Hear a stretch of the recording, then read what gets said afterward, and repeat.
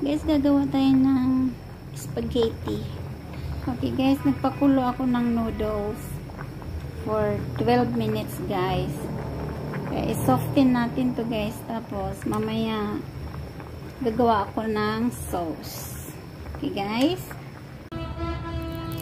Okay guys, ayun guys, na boil na natin guys. So, medyo i-cool na natin siya guys. Nanggal ko na siya. So, prefer tayo guys for sauce.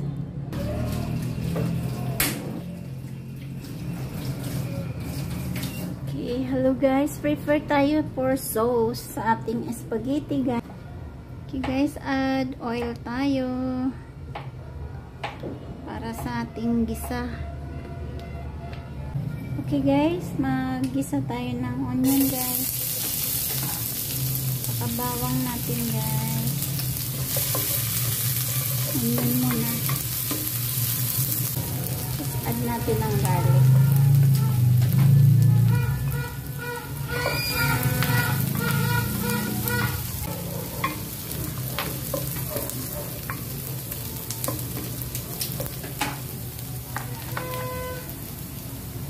Guys, add tayo ng chicken meat ang ginamit ko guys.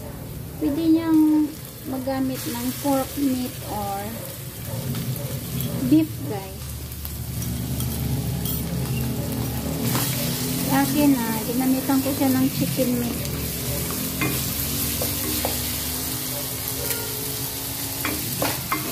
Isa lang natin guys.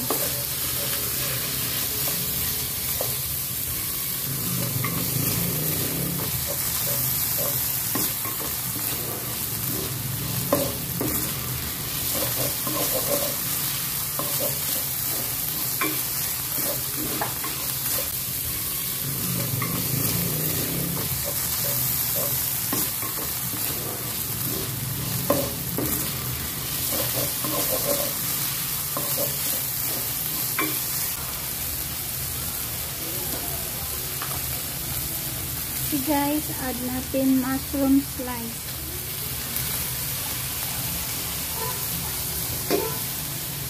Slice na siya guys.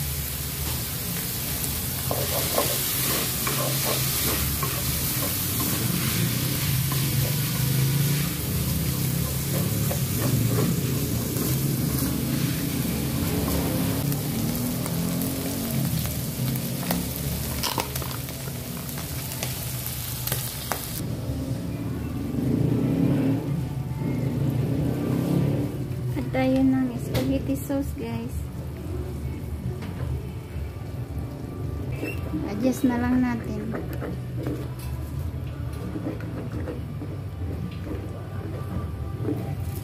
Ayan. Tapos guys, mag-add tayo ng renong para more yummy.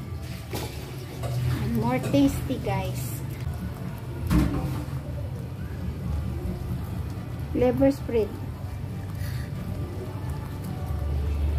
More creamy siya guys.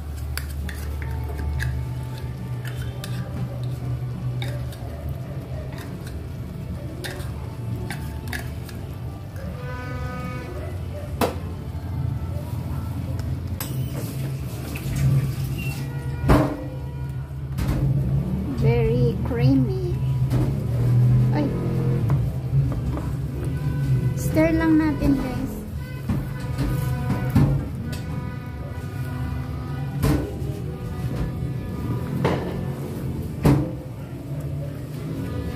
Okay guys, ito guys. Pan-fry ko lang siya tapos i-mix natin sa spaghetti sauce.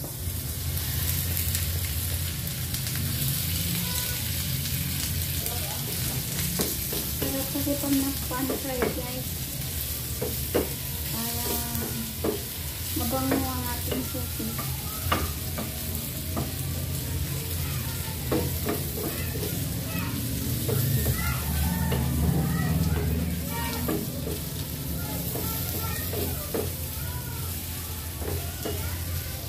Pan-fry natin guys, kunting oil lang.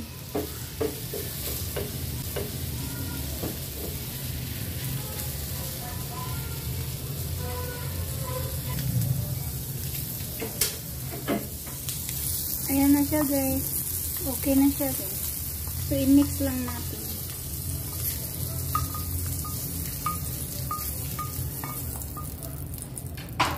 Ayan. Okay na yan, guys. Bango kasi pag, ano, na pan-fry natin sa konti. Tin, lagyan ko lang ng kunting asukal. Kunti lang. More sweet.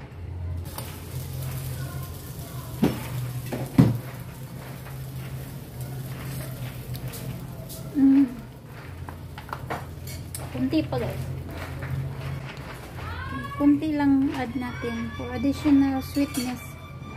Kasi kung minsan guys yung spaghetti natin hindi ganong sweet so add kunti lang.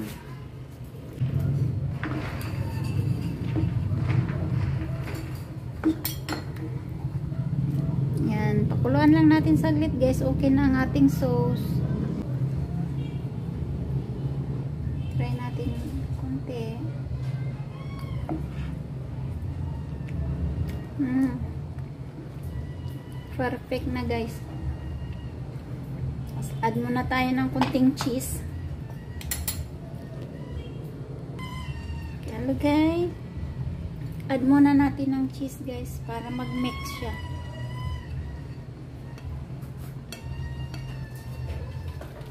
More creamy.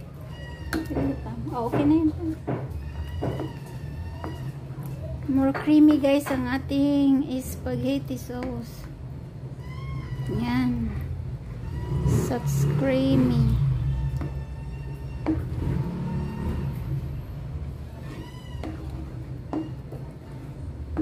Pag masyadong malapot guys, pwede tayo mag-add ng kunting tubig